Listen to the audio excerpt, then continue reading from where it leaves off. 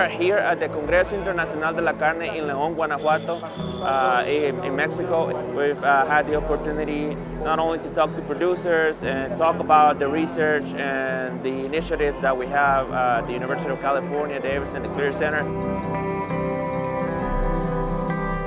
But we've also had the opportunity to meet with the Minister of Agriculture, and it was great to share what we do, and it was also great to see that, that they are excited to learn more and that they are looking forward to meeting those sustainability goals uh, in the future.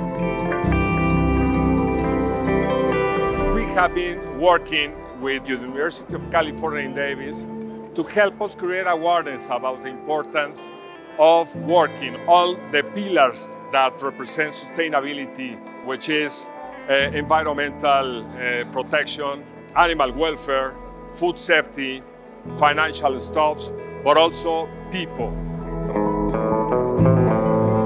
With the help of uh, Dr. Frank, we are ensuring that big producers can document what they are doing in order to be prepared for the future to ensure long-term success.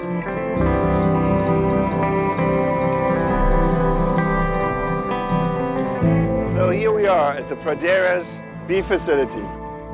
This is one of the largest beef facilities of Mexico. It has large rangeland around us where animals are grazed in a rotational way to improve forage quality but also to improve soil carbon sequestration.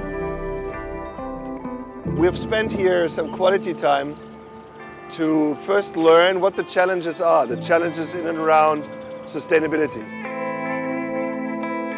the ideal shade. Not just shade material, but also space. Will shade for three weeks of your finishing period. It's not that it reduces air temperature, it is that it reduces soil surface temperature. And it allows the cattle to lie down on a cooler surface, dissipating heat to the cool surface. That's how you cool cattle with shade. They are really taking care of animal welfare by training their staff on what to do and what not to do, how to optimize animal welfare. And they want to do it right. And so much of what they do is already really top notch. The time is absolutely ripe for farmers and farm-related people to learn about how livestock affects climate, how it affects the environment, and how we can mitigate those impacts.